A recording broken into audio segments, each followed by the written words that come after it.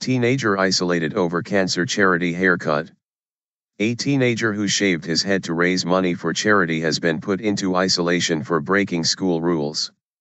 Stan Lock, 14, a pupil at Churchill Academy, North Somerset, said he wanted to raise funds for Macmillan because cancer affects so many people. He got the number one haircut on Sunday after playing rugby for Winscombe RFC. Head teacher Dr. Barry Wratten said Stan had been in isolation for three days but this would now be reviewed. Stan said he had been in isolation because his head teacher did not approve of the haircut. His mother Melanie Rees said she was incredibly proud at what her son had done. I'd hoped the school would have shown some element of judgment and would have made an exception, she said.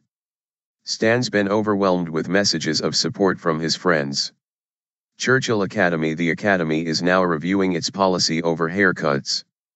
A petition to have him reinstated into class has attracted more than 600 signatures and the Free Stan Lock Facebook page has been liked 529 times.